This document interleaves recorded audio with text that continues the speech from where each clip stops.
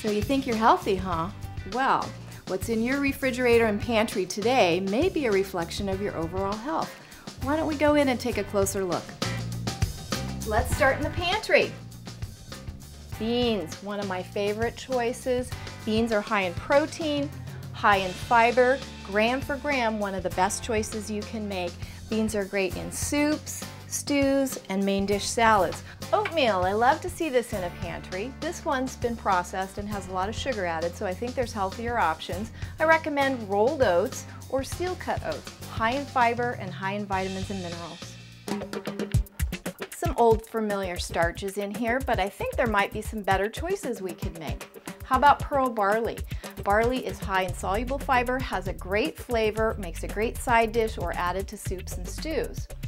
And if you really want to get exotic, how about polenta or quinoa as a side?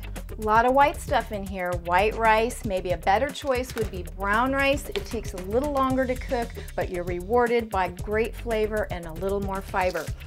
Um, also white pasta in here, tastes good, but so does whole grain pasta, which is readily available nowadays, and vegetable pastas too, delicious. What's this? Chicken broth, it's a must have in my pantry. Low in fat, low in salt, great flavor to add to your soups and side dishes without adding fat. An alternative is low sodium vegetable broth, also delicious. Let's take a look in the fridge.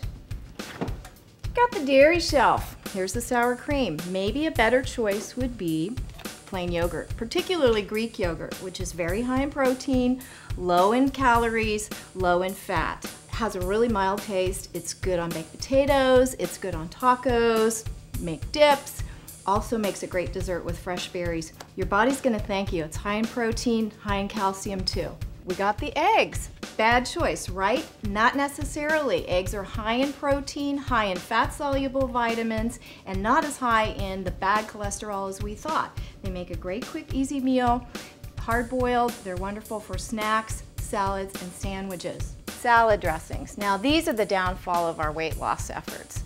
Uh, how many of us actually use two tablespoons of salad dressing on our salad? Most of us just squirt it right out and we have a week's worth of calories right on our salad.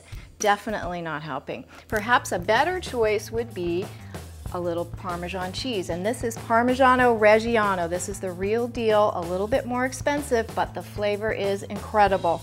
Grate it on your salad, add a little oil, olive oil, and flavored vinegar, fresh ground pepper, and you've got a great meal. Here's the fruit juice. Even without added sugar, fruit juice can be just as bad as drinking regular soda. Maybe a better idea would be to put some fruit in the juicer, add some sparkling water. Better yet, how about a piece of fresh fruit?